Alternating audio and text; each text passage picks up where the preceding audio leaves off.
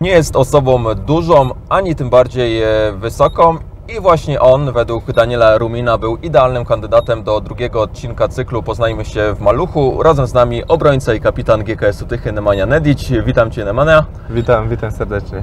Nema, czy Twoim zdaniem, e, cytując e, klasyka, kolega Rumin nie pomylił odwagi z odważnikiem, czy jednak Twoim zdaniem chciał Cię docenić jako kapitana GKS-u Tychy i nominował Cię do jazdy naszym Maluchem? No to tylko on wie, co, co ma w głowie, No, ale dobrze. Jestem tutaj, aby mu pokazać, że, że poradzę sobie, mimo tego, że on myślał, że, że się nie zmieści tutaj, nie? Także spokojnie, damy radę. To powiedz, jak po pierwszych kilkudziesięciu sekundach się tutaj czujesz i czy Twoim zdaniem mógłbyś jechać tym samochodem do Czarnogóry? Bo nie wiem, czy wiesz, e, przed kilkoma laty Polacy tym oto autem jeździli nad Polskie Morze. No wiesz co, Rumin, na spokojnie. Tak, bardzo, bardzo komfortowo, także dałby radę na pewno. No ma, wyobraźmy sobie, że za pomocą tego samochodu możemy się teleportować. E, To powiedz, jakie miejsce na Ziemi jest Twoim takim idealnym, e, gdzie chciałbyś się przenieść i dlaczego? No wiesz co, może dla mnie to trochę trudne pytanie, bo mi, mi jest, dla mnie jest ważniejsze z kim niż gdzie, ale może chciałbym zobaczyć wodospady ten Niagara, nie? Tylko, że tam maluchem nie pójdziemy na pewno. I może chciałbym zobaczyć, co się dzieje tam w Australii, nie? No, może obejrzeć jakiś finał Melbourne, Nowak Djokovic wygrywa, zrobię zdjęcie z nim, tak dalej, wiesz.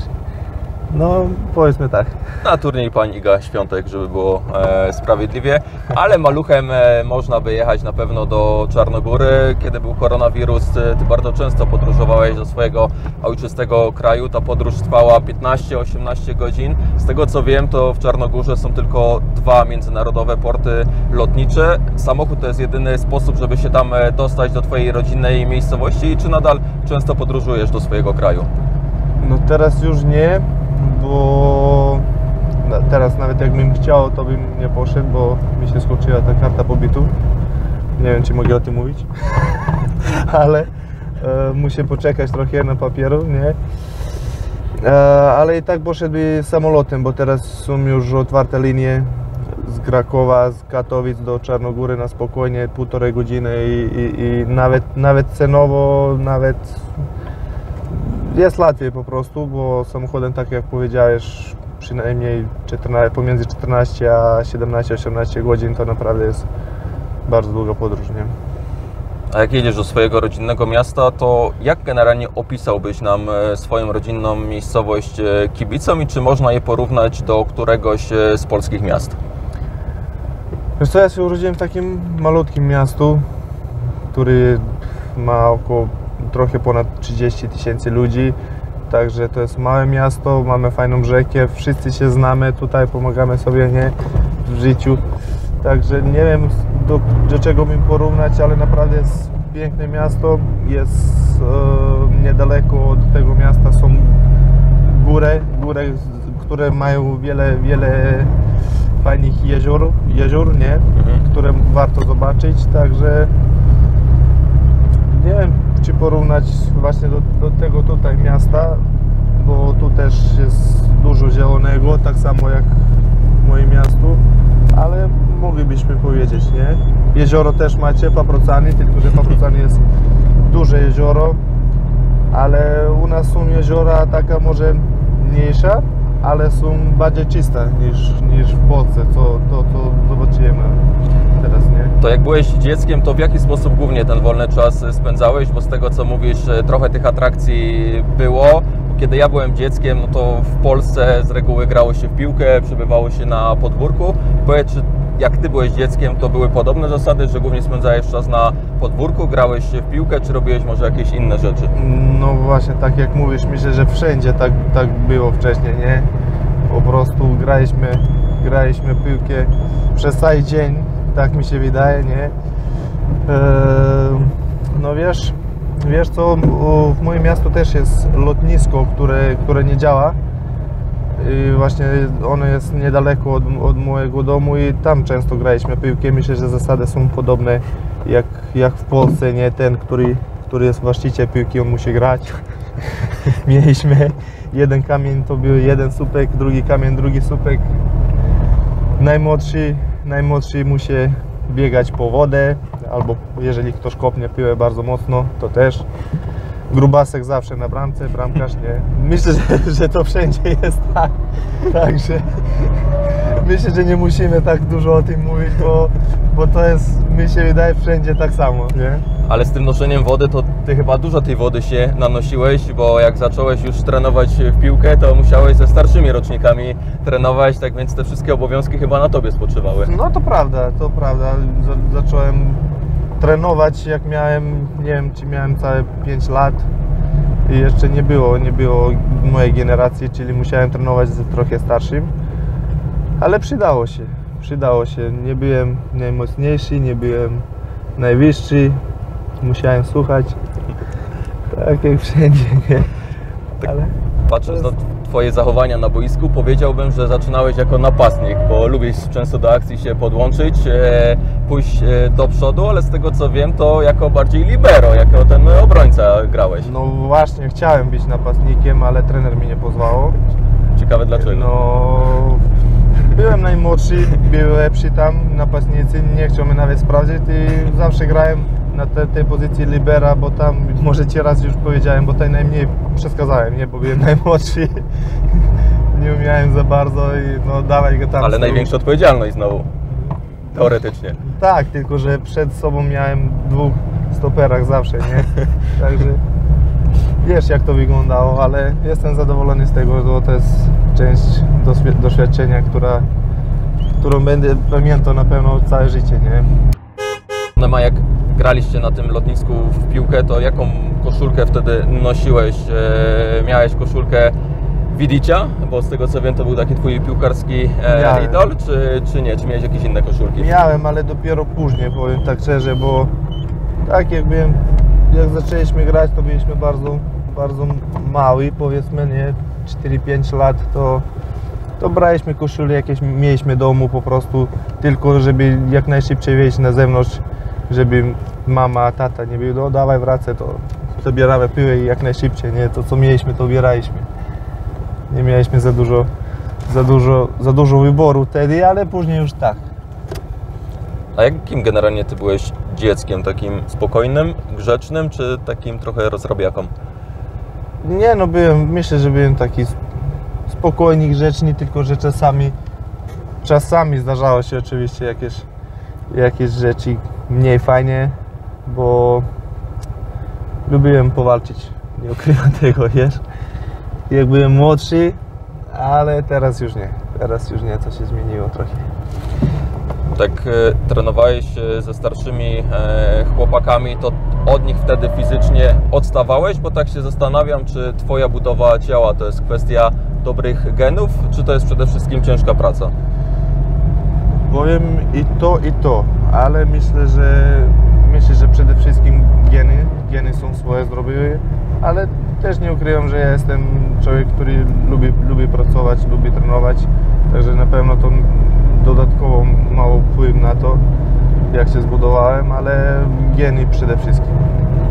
Może kwestia jedzenia, bo z tego co wiem, to w Czarnogórze bez mięsa nie ma życia. Czy u, to, u Ciebie dalej to mięso dominuje? Jak generalnie Twoja dieta wygląda? Czy to się zmieniło na przestrzeni ostatnich lat?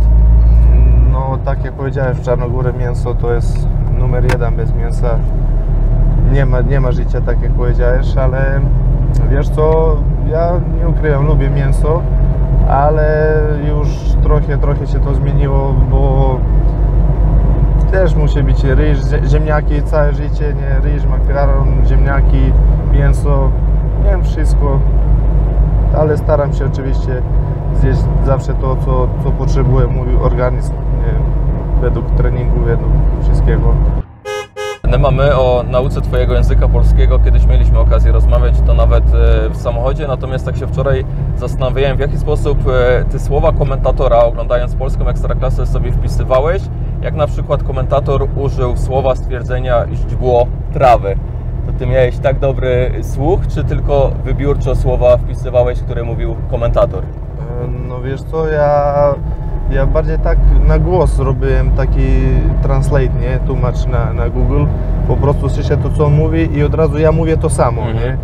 nie? I Bo mi na początek było tak ciężko ocenić, jak komentatorz mówi, czy to jest jedno słowo, czy pięć, Mhm. czy, bo wiadomo, Polacy mówią według mnie bardzo, szybko, bardzo, tak. bardzo szybko i ciężko złapać ile tutaj słów jest w tym, co, co ktoś mówi, nie? Także raczej robiłem tak, że pamiętam to, co on powiedział i, i powiedziałem, potem mówię to samo na translate, nie? A w szatni to był temat często do żartów, jak ty próbowałeś mówić e, w języku polskim? Czy tak koledzy byli bardzo wyrozumiali, czy bardzo szybko łapali niektóre słówka i gdzieś tam trochę dogryzali i żartowali? No powiem, naprawdę pomagają mi przede wszystkim, starali się pomóc mi, ale to jest normalnie. Czasami było tak śmiesznie, nie, że nawet później jak sobie wracałem, co, co mówiłem kiedyś, nie, to ja sam się śmiałem z tym, nie? To, to są normalne rzeczy, a też mieliśmy, jak dobrze pamiętamy, Krzysztofa Włokowicza w szatni i jak coś źle powiem, to co myślisz, co się działo? To ja Cię o coś teraz zapytam to będzie dobre nawiązanie do kolejnego pytania. Czy Ty wiesz, co jest ulubionym daniem korników? Nie. Szwedzki stół. A, I wiesz, do kogo to jest nawiązanie? Do Twojego Tak. serdecznego kolegi z y, pokoju. Ja się tak zastanawiam, czy Ty miałeś Tak. okazję być kiedykolwiek z takim gościem y, w pokoju, który no, miał taki poziom e, żartu, no bo byłeś w kilku klubach, grałeś na, w, w Czarnogórze i czy trafił Ci się taki przypadek jak właśnie Wołek? Wiesz co, powiem Ci szczerze tak, że zawsze miałem w swoim pokoju takich szalonych ludzi, ale, ale może to nie przypadek, że tutaj też trafiłem na takiego gościa jak jest Wołek, bo moim zdaniem Wołek jest najbardziej podobny charakter do ludzi, ludzi w Czarnogórę, nie? Także to, to, to, to, dla mnie było tak, czułem się jakbym był w domu, nie? Jak miałem Krzysztofa, bo on jest bardzo podobny, ma takie podobne żarty, ma tyle energii zawsze, codziennie. Czasami mówi takie głupoty, które są tylko dla niego fajnie i śmiesznie, nie? Ale to, to jest normalnie i, i właśnie, właśnie ja, jeżeli patrzę na, na, na, takie rzeczy, takie żarty, to jestem bardzo, bardzo podobny do niego, także razem robiliśmy takie głupoty, takie żarty w pokoju, żeby nie było, że tylko Krzysztof, bo, bo to nie przypadek, że, że byliśmy razem, nie? A czy poziom żartów takiej szydery piłkarskiej jest wyższy w Polsce czy w Czarnogórze? Wiesz co, myślę, że, że są podobni, ale moim zdaniem Czarnogórę są trochę taki powiem grub, y, grubszy żarty, Okej. nie? Czyli takie używamy takie słowa, które są mniej miła niż Czyli to nie są tylko tutaj. słowa, ale robi się coś fizycznie, tak? no Czy- czasami tak, czasami tak. No tak. Myślę, że Krzysztof Włokowicz on by się szybko do, do, do, dostosował do takich warunkach w szatni. Reszta może trochę więcej czasu by potrzebowała, ale tak samo. To nie mówiąc jaki klub, jaki zawodnik mógłbyś zdradzić, taki jeden psikus, który tobie był może śmieszny, który ci zapadł w pamięci najbardziej w trakcie całej twojej takiej kariery. No wiesz co, to, to naprawdę mam jeden w głowie, ale nie mogę, nie mogę powiedzieć, powiem Ci później, wiesz. Jest, bo chodzi o, muszę mi powiedzieć personalnie Okej. o kim chodzi, a jakbym powiedział, to już by Już byłoby wiadomo o kogo Tak, chodzi. tak. A jakbym nie mówił imię i nazwisko, to nie, zro- nie zrozumiałby żart. Okej, okej, dobra. To powiedz jeszcze przemowa w szatni, bo to jest e, częsty fragment, który my w naszych kulisach e, puszczamy. Nie wiem, czy ty generalnie czytasz komentarze kibiców, bo teraz mi takie pytanie przyszło do głowy. Czy ty generalnie czytasz, co ludzie piszą na Facebooku, na, na YouTubie? Czy generalnie to śledzisz? Bo piłkarze często mówią, nie, my nie śledzimy, ale wiadomo, że czasami się zerknie. Wiesz co, ja nie mam, nie mam Facebooka, także nie, nie czytam na pewno. Czasami popatrzę na ten filmik, który zrobisz na YouTube, ale przysięgam Ci, nie, nie czytam komentarzy nigdy. Bo z reguły, jeśli chodzi o, o Ciebie, to komentarze są szacun Nema, szanujemy Cię, świetnie mówisz po polsku, jesteś świetnym kapitanem. To są z reguły ciężko trafić w Twoim e, wypadku na negatywny komentarz, ale chciałbym zapytać o tą e, przemowę w szatni. To jest coś, co Ty sobie przygotowujesz wcześniej i masz to ułożone w głowie, czy jest to bardzo spontaniczne i takie prosto z serca? No wiesz co, przede wszystkim dziękuję za takie słowa od strony kibiców, bo naprawdę nie czytałem, nie wiedziałem, że, że zawsze są takie komentarze. I No w naprawdę- 95%, no, żeby nie No było. dziękuję, dziękuję naprawdę. A, a jeżeli chodzi o te, te, te e, drugie albo pierwsze pytanie, nie, naprawdę nigdy nie przygotuję nic, bo po prostu to się nie da przygotować, wiesz, bo to jest taki, taki moment, gdzie wychodzi ze mnie to, co na, ten, na tą chwilę czuję, że, że trzeba i że muszę powiedzieć i tak mówię, nie? Tylko, że czasami nie ukrywam, że zastanawiam się potem, kurczę, czy coś dobrze powiedziałem, bo wiadomo, to polski to nie jest mój język i często się zdarza, że zrobię jakiś błąd, ale nie da się po prostu przygotować to, co, co, co, co jest nasze w szatni, to, to jest taka to jest taka pasja, która, któ- którą nie możesz wytłumaczyć, nie? Piłka nożna to jest taki zawód, że nie da się domu przygotować wszystko, co, co będziesz mówił, co będziesz robił na, na boisku, to, jest, to są inne rzeczy całkiem, nie? No to wiemy, że w domu przemowy nie przygotowujesz, wiemy, że już e, spotkań ekstraklasy i słów komentatorów nie musisz e, tłumaczyć. E, To co w takim razie głównie w wolnym czasie robisz, bo to się pewnie zmieniło w porównaniu do tego, co było chociażby dwa lata temu, jak mieszkałeś e, sam. Tak, tak, bo mnie, tak jak powiedziałeś, dwa lata temu byłem sam, starałem się tutaj nauczyć jak najszybciej polski język, bo chciałem, chciałem normalnie ro, rozmawiać w szatni z ludźmi poza szatnią, nie? E, udało się, a teraz, teraz już mam, mam rodzinę tutaj, mam syna, którego nie miałem wtedy, także jest, je, jest coś robić po treningu, staram się spędzić jak naj, najwięcej czasu razem z, z, z rodziną i z dzieckiem, nie? No to Nema, dojeżdżamy e, na stadion. Ja Ci bardzo dziękuję za rozmowę. Myślę, że wiele tutaj ciekawych historii e, opowiedziałeś i kibice mogli Cię jeszcze nieco lepiej e, poznać. No i na koniec ten moment, na który czekasz od samego początku, czyli nominacja, kto zasiądzie za sterami naszego malucha w trzecim odcinku Poznajmy się lepiej. Dziękuję bardzo z mojej strony też. Wiesz co? Dam ci, dam ci, dam ci jednego spokojnego gościa, który, który ci się przyda na pewno do takiej rozmowy. Też będzie się czuł tak komfortowo w tym samochodzie jak ja. Jakub Teclaw jest twoim kolejnym gościem w tym aucie. Za kilka dni zasiądzie za sterami naszego malucha. A ja Ci Nema dziękuję za rozmowę. No i do zobaczenia w niedzielę o godzinie 12.40 na Stadionie Miejskim w Tychach. Dziękuję jeszcze raz i do zobaczenia.